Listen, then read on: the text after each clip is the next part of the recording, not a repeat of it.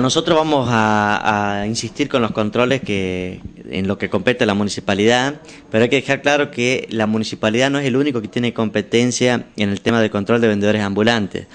También eh, tiene competencias este, la FIP, la Gendarmería Nacional, Policía Federal este, y la Policía de la provincia.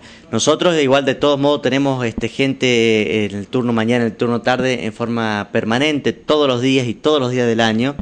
Eventualmente hacemos secuestros de mercadería de vendedores ambulantes y también en todos los casos que, necesitamos hacer secuestros requerimos sí o sí el auxilio de la fuerza pública que es la policía de la provincia a través de la comisaría primera. Sin el auxilio de la fuerza pública es imposible que la municipalidad programe un operativo para, para erradicar los vendedores ambulantes de la peatonal Rivadavia.